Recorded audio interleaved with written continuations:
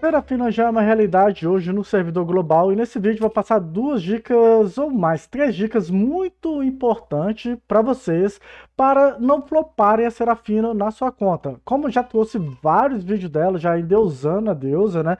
É um personagem que eu tenho bastante expectativa que ela vai ficar OP, com certeza bem lá na, em cima, né? Na tier list. Lá no servidor chinês eu vejo ela direto, né? Hoje, por exemplo, eu fiquei procurando ela lá, é o Tanato CR, né? Mas infelizmente eu não consegui achar o Tanato CR lá no servidor chinês, mas eu ainda vou continuar procurando. Porém, ela estava lá em todos os times. A galera tá jogando muito com a Serafina. Lembrando que já tem uma semana aí que a Serafina. Uma semana não, né? Uns 4, 5 dias que a Serafina já foi lançada. Então é uma personagem que Muitos jogadores têm altas expectativas, eu tenho altas expectativas com ela também. E o melhor, ela não joga somente com 60 livros. Dá para começar a jogar com ela a partir de 7 upskill ou 14 livros também, não se tornando uma personagem OP demais, mas também ela não fica tão ruim. Dá para ela entrar em algumas comp, principalmente na vibe aí do dano extra, do controle aleatório e da cura também. Então, Sejam todos bem-vindos a mais um vídeo do canal do Nexus Awakening, porque vamos falar aqui das dicas para você pegar a Serafina. Você tá com gema, não tá com gema, mas tá querendo ter Serafina, eu vou passar essas dicas para vocês, beleza? Então, como já disse, ela é uma personagem que começa a jogar a partir do, desse, dessa skill aqui nível 4. Pronto. Depois você decide se você vai upar essa skill ou vai upar essa skill, você vai pincelando elas duas, 1, 2, 4, 2, 1, 3, 4, 3, por aí vai. São skills bem interessantes de você upar sim também, beleza? Que é isso. Aqui é mais passivamente, aqui é mais ativamente a Serafina, tá certo? Então, como vocês já viram, dá para começar a jogar bem com a Serafina, principalmente quem tá em rank diamante, platina, talvez chegue lá um pouquinho no imortal. Eu acredito que uma build de 7 upskill já dá para começar a brincar com a Serafina e ela não vai deixar você passando vergonha igual um Gestalt aí de 30, 40 livros, por exemplo, né? Então, tá certo. Ô, Ney, como que seria esse gerenciamento aí para não flopar a Serafina? Vou, vou falar para vocês um cálculo bem, bem simples mesmo, para vocês pegarem a Serafina. Olha só, você vai precisar de quê? Você tem quantas gemas? Você tem mais de 500 gemas? Então, mais de 550, melhor dizendo, a partir de 550 gemas você dá 10 ou 40 tiros diários. Simples, eu tenho mais de 800 gemas, dá para dar 40 diárias todos os dias. Ou nem, eu tenho 630, dá para dar duas de 40 e aí você vai cair, né, 80 vai, vai ter uma restituição de 14 gemas e tal, diário, né? Então você vai cair lá para 570. Com, dá 10 diárias, dá 10 diárias. Nossa, fiquei com 552. Parou. Começa a farmar gema, começa a farmar diamante, inteirou 560 de novo, 10 gemas. Ok? Ah, eu abri 302 tesouros do Grande Mestre, por exemplo, consegui 10 mil diamantes e 232 gemas avançadas. Começa a dar 40 diários novamente. Simples assim. Tem mais de 600, mais 700, dá 40 diário. Tá próximo, tá entre 550 a 600 gemas, dá 10 diário e vida segue. Você vai fazer isso da quarta-feira, né, do primeiro dia dela, que deixa eu confirmar aqui, é dia 25, até o dia, é, dia 5, até o dia 5 de fevereiro. Porque no dia 6, penúltimo dia de banner, temos o gato da fortuna. E lá você tem que ter 550 gemas. Ô Ney, é garantido que o gato vai dar 110 gemas com 7 tativas? Não, normalmente dá aí entre 90 até mesmo 110 gemas aí. É uma média que pode né, cair um pouquinho para baixo, você precisa de 110 gemas.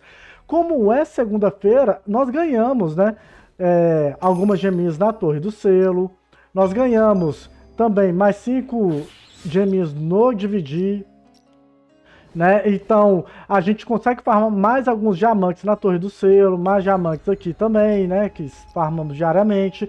Então, tem alguns resets de recompensas que vai fazer com que nós, caso o gato da Fortuna flop, essas 110 gemas, você consiga chegar nos 660 gemas e rodar a última tentativa do gato da Fortuna. Ok? Então, beleza. Você, eu nem, eu tenho 500 gemas hoje. Não vai dar tiro, você vai continuar farmando é, diamante, vai continuar farmando gemas, são 14 dias, né? De banner aí. Então, em algum momento você vai passar de 550 e aí você começa a dar os 10 tiros. É, possivelmente quem tem menos de 550 gemas hoje, né, não vai conseguir dar nenhuma vez 40 diários, vai dar 10 diários, mas vai, vai nas, nas 10 diárias, meio qualquer fragmento vai valer a pena, porque a Serafina vai ter que estar em todas as contas. Ok? Então, matemática simples, repetindo, tem mais de 650 gemas, por exemplo, 40 diárias, tem lá entre 560, 600 e pouca, dá 10 diárias, e aí você vai manuseando essas diárias até chegar próximo ao dia 6. Ah, chegou no dia 4.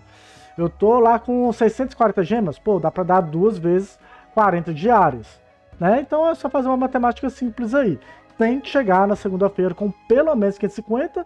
Se você estiver inseguro aí com sua sorte, deixa aí uns 560, 570, que aí é sucesso o gato da fortuna aí, uns 570. É muito difícil você eu não vejo alguém flopando tanto no Gato da Fortuna assim. Pode acontecer? Pode, mas quem já tem as experiências do Gato da Fortuna sabe que isso aí eu pelo menos nunca vi. Se você for o primeiro, né?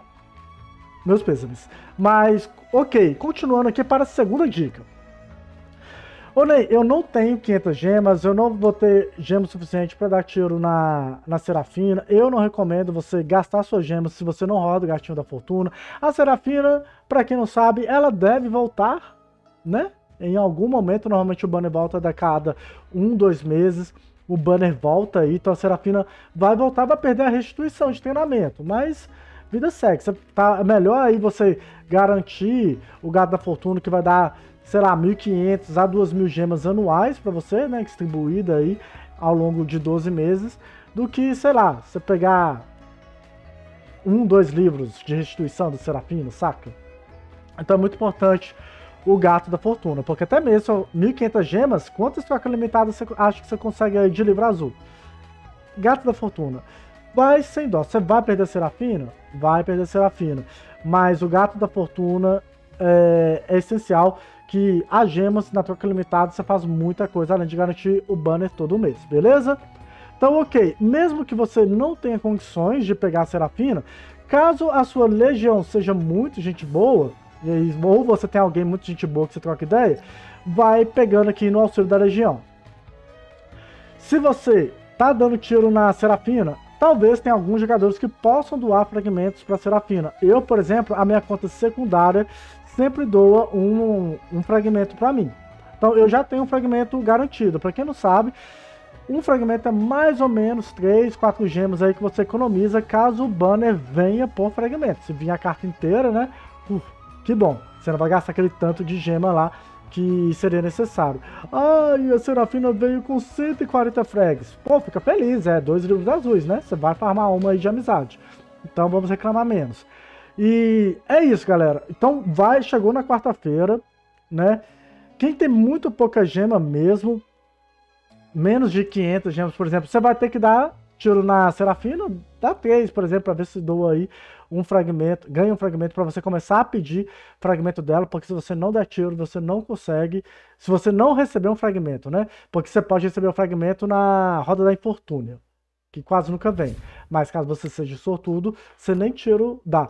Ah, ou então você esperou dar 10 horas lá, fez lá suas 10 diárias, 4 diárias, e começa a pedir aqui os fragmentos, tem conta secundária, começa aí a fazer a doação. Se tem alguma passa aí na sua legião, ele poderá doar para você, principalmente se esse passa pegou a Serafina, teve a loucura lá de dar all-in, né? Que eu sei que tem muitos jogadores que sofrem com o mal da ansiedade, querem tudo para ontem, né? E não ligam de levarem um prejuízo grotesco. Hoje mesmo na live, teve um carinha lá, esqueci o nome dele, mas você que vai ver no vídeo já vai saber quem é. Falou que pegou o Oneiros com 650 gemas. Com a restituição, né, de 650 gemas, ele daria aí uns 570 gemas. Para quem viu o vídeo do Oneiros, eu peguei dois por fragmento. Eu gastei mais ou menos, eu gastei 900 tiros eu tive uma restituição de 700, de, de 200 mais ou menos, estou gastando 700 gemas. Peguei dois oneiros com 700 gemas. Ele com 580 pegou um Oneiros. Então foi o segundo Oneiros meu, 120. E para quem sabe, né, ver aí os vídeos de 40 diários, sabe que eu pego normalmente banner com 300 gemas. E é o que eu devo pegar aí a Serafina. Eu acho que vou pegar ela com mais ou menos é, 300 gemas. Tá ok? Então, fica ligado, auxílio da legião é muito importante, mas aí depende da sua legião para dar aquela moral. Depende aí se você tem a conta secundária também para garantir essa própria moral que você se dá também tá certo? E para fechar, a última dica, que também é para alguns jogadores que vão pegar ela no final, tá certo? Que alguns podem dar essa manota, mas antes, pô, não esqueça de deixar a moral, galera. Seu like, sua inscrição e se possível compartilhar, ajuda demais, vocês estão ligados, né? É, vou deixar alguns vídeos da Serafina aí nos cards também, para quem não viu os vídeos recentes dela, né? Como ela no PVP e o meu vídeo de sumos dela, PVP DG. E a review dela aqui no canal também. Então esses três vídeos deixarem nos cards. Então, o que que acontece com a Serafina? Por ela ser uma EXSS, para farmar amizade e completar o treinamento dela, é amizade de nível 4 e não nível 3. Tá certo? É, é, muito difícil deixar amizade no nível 4 no único dia. Já fica uma dica aí pra vocês, principalmente a galera que não for conseguir dar as 40 diárias por dia, não vai ter a restituição de amizade aqui de 40, né? Então, o que que acontece? Tem que ficar atento, porque na segunda-feira, no dia do lançamento do Gato da Fortuna, talvez seja o dia para você dar o all-in na Serafina, se você quiser pegar o treinamento de amizade de nível 4 dela, porque você vai farmar amizade na segunda e farmar amizade na terça-feira. Porque se você acha mais interessante o treinamento de amizade de nível 4 dela, do que essa restituição de 10, 3, 10 e 40, você vai ter que fazer isso. Mas se você não liga para o treinamento de dela, né, de você acha que essas recompensas aqui são melhor, então beleza. Chegou na segunda-feira, você dá as 40 diários após eu dar o gato da fortuna, pega essa restituição todinha aqui e na terça-feira você dá o all-win. Porque quem começar a dar 10 tiros diários, talvez não consiga farmar a amizade dela no nível 4 na terça-feira, pegando ela na terça-feira, e vai perder o treinamento dela. SS barra EX, treinamento é amizade nível 4. S, a amizade é nível 3. E a amizade nível 3 dá para farmar em um dia, ok? Quando, por causa dessas restituição aqui, tá? Por causa dessa restituição. Então, é isso. Esse aí então foram as dicas que eu posso passar para vocês, tá certo? Então, só reforçando a matemática bem simples. Não deixa suas gemas ficar abaixo de 550 e aí você distribui 10 diárias e 40 diárias até chegar o gato da fortuna. Não tenho 550, mas em algum momento nesse intervalo de até chegar o gato da fortuna eu passar dos 550, você pode começar aí as 10 diárias e acumular fragmento. Eu esquipei a Serafina, começa a pedir fragmento dela desde que você receba doação, que quando ela retornar, né, para quem não sabe o banner retorna, tá? Daqui um, dois meses, você já vai ter aí 30, 60, 80 fragmentos dela, e aí você vai gastar menos gemas para pegar ela. Você vai perder a restituição de treinamento, mas você também vai gastar bem menos gemas, né? Porque você já vai ter aí bastante recursos de fragmento já coletado e assim você vai gastar bem menos gemas, beleza? Então é isso, galera. Esse aí foi o vídeo de hoje, a dica de hoje. Eu espero muito que vocês tenham curtido aí a Serafina. Eu estou muito hypado com ela, como vocês já sabem é a personagem que mais tem vídeo a curto prazo aqui no canal, desde que lançou ela. E é isso, vou ficando por aqui. Se você tem mais alguma dica adicional, deixe nos comentários e nos vemos no próximo vídeo. Valeu e fui!